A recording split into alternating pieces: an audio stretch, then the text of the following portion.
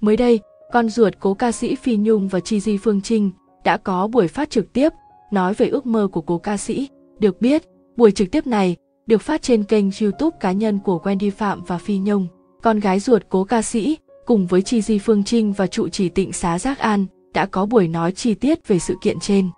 Theo đó, vợ cũ Bằng Kiều cho biết, show diễn sẽ có tên mơ ước của Nhung, với sự góp mặt của nhiều ca sĩ nổi tiếng như Ý Lan, ca sĩ Mạnh Quỳnh, Phương Loan, Thanh Thảo. Cũng trong buổi chia sẻ, cô cho biết bản thân thấy bất ngờ trước tình cảm của khán giả dành cho cố ca sĩ Phi Nhung. Lượng vé của show diễn bán ra đã vượt xa mong đợi của người thân cố ca sĩ Phi Nhung. Được biết, mục đích của show diễn là để tổ chức gây quỹ xây dựng cho trường học Việt ngữ của Phi Nhung. Ngôi trường này là tâm nguyện lúc sinh thời của nữ ca sĩ và hiện nay vẫn được con ruột Phi Nhung tiếp tục gây dựng. Thời gian qua, Wendy Phạm cũng thường xuyên chia sẻ về quá trình hoàn thành trường Việt ngữ của Phi Nhung. Cùng chung tay vào việc xây dựng trường Việt ngữ của Phi Nhung, trước đó, con nuôi Phi Nhung và Mạnh Quỳnh đã tổ chức đêm nhạc nhớ Nhung, một phần để giao lưu khán giả tại Việt Nam, ngoài ra cũng để gây quỹ dành cho việc xây dựng trường học.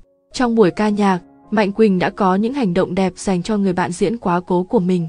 Anh đã cầm di ảnh của Phi Nhung khi chụp hình cùng người hâm mộ. Chỉ một hành động nhỏ từ nam ca sĩ cũng đủ khiến người hâm mộ Phi Nhung cảm thấy ấm lòng và được xoa dịu nỗi đau. Cố ca sĩ Phi Nhung đã rời xa cõi trần được hơn 8 tháng, nhưng hình ảnh một nữ ca sĩ hiền lành, tốt bụng vẫn còn in mãi trong tâm trí khán giả. Dù đã vơi bớt nỗi đau sau khi Phi Nhung qua đời, nhưng cả Wendy Phạm và Mạnh Quỳnh vẫn thường xuyên có những hành động ý nghĩa dành cho cố ca sĩ. Con gái ruột của cô thường xuyên đăng tải hình ảnh hai mẹ con, cũng như những đoạn video lên mạng xã hội, để mọi người có thể nhớ đến một hình ảnh Phi Nhung xinh đẹp, hiền hậu nhất. Video đến đây là hết. Cảm ơn các bạn đã quan tâm theo dõi. Hãy cho chúng tôi biết ý kiến của bạn dưới bình luận.